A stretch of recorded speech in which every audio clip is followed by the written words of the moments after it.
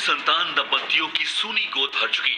Doctor Shashi Singh और doctor Anirudh Singh द्वारा मेरठ के सिविल लाइंस में doctor Singh test tube baby centre की स्थापना के 16 वर्ष पूरे हो गए। 2005 में हमने ये सेंटर स्टेब्लिश किया था और तब से हम हर वर्ष एनुअल डे मनाते हैं चौदह दिसंबर को।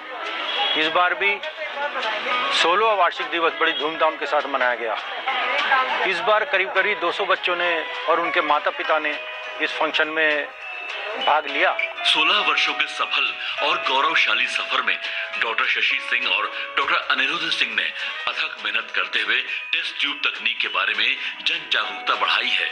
टेस्ट ट्यूब बेबी से जुड़ी विश्व में जो भी अत्याधुनिक टेक्नोलॉजी है, वो तकनीक